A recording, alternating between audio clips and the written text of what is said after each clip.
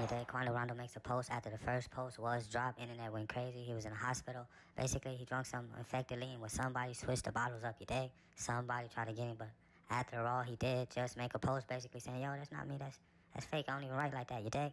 Basically clearing up the rumors. He was not in the hospital for lean, you dig? A lot of people were like, yo, Quando rushed to the hospital. He got blew down, you dig? Quando blew down, you dig? Circulating on the internet, Quando was blew down, you dig?